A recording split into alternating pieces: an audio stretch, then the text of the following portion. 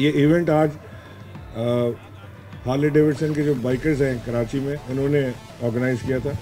इमरान इसको हेड कर रहे हैं, फैसल कुरैशी इसमें हैं साथ, और बहुत सारे स्टार्स यहाँ पर बैठे हैं, अदनान हैं, और सारे दोस्त इन्होंने किया था। और ये हमेशा मुझे इनक्रेज करते हैं, क्योंकि मेरा एक पैशन और एक शौक़, ये रहा है कि मैं बाइकिंग भी करूँ। लेकिन आज तो इसके साथ एक बहुत बड़ा कॉज जो शौकत खानम कैंसर अस्पताल जो जो हमेशा मेरे दिल के करीब रहा है, मैंने आपको बताया कि मैं 93 से इस इदारे के साथ मुंसलिक रहा हूँ, इसकी फंड रेजिंग में, इसकी डिफरेंट चीज़ों में मैंने इसको बनते देखा है अपनी आँखों से।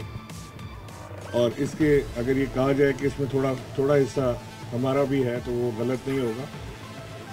और कराची में जो अस्पताल बनने जा रहा है, वो कराची वालों के लिए, बल्कि पूरे सिंध के लिए एक बड़ी खुशखबरी है कि उन्हें अब लाहौर की तरफ़ नहीं जाना पड़ेगा, उन्हें इलाज की सहूलत यहीं मिल जाएगी।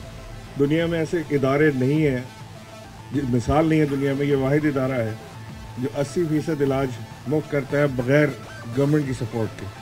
और इसकी सपोर्ट सिर्फ़ और सिर्फ़ पब्लिक से होती है। तो मैं, जो पाकिस्तान के लोग हैं, जिस तरह उन्होंने शौकत खानम को सपोर्ट किया, उनका भी मशहूर हूँ। और ख़ास तौर से कराची के लोगों का कि जिन्होंने सबसे बड़ा डोनेशन हर साल शौकत खानम को कराची से जाता है। सो so, कराची जिंदाबाद। Thank you so much